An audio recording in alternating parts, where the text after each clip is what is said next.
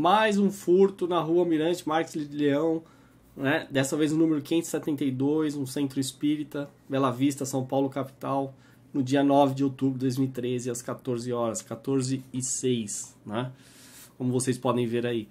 Uh, o sujeito, essa rua aí eu já, já mostrei várias vezes, furtos nessa rua, e enfim, e não adianta nada, né? Mas eu gosto de mostrar para esfregar na cara de quem defende o Estado.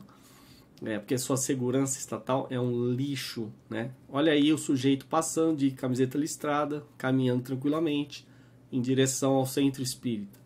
Agora vou mostrar para vocês a cara dele, né? Caso alguém reconheça, porque no Brasil você é que tem que investigar, não é a polícia que faz isso, é, o, é você que tem que investigar. E agora, né, aproximadamente 14h09, 4 minutos depois, né, ou 3 minutos depois, olha lá, ele até levanta a mão, sai correndo e volta tranquilamente com o produto do seu furto. E aí eu pergunto para quem defende o Estado, segurança pública, segurança estatal, polícia militar, civil, o que, que vocês vão dizer agora? Vocês não vão falar nada tá? Vocês têm que admitir o fracasso e até pedir desculpa. Né? Vocês gostam de falar que segurança é um dever de todos? Não é um dever.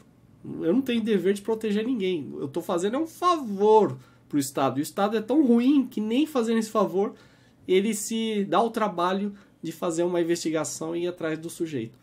Então, fica aí o meu desabafo, né? Na cara, esfregando na cara de quem defende que o Estado deva controlar o teu monopólio da segurança, não é? Se essa rua fosse privada, seria muito, mas muito mais segura. Ia ter um estímulo. Do contrário, a rua perderia né? clientes, consumidores, moradores, é, a circulação, enfim. É interesse ter segurança. Agora, o Estado, o que, é que ele perde com o furto? Nada. Né? E você tem tudo a perder, porque você é a vítima, então, enfim. Só reportando aí mais um dos inúmeros furtos na mesma rua. Né? Eu acho que eu vou até colocar naquele site onde fui roubado, né?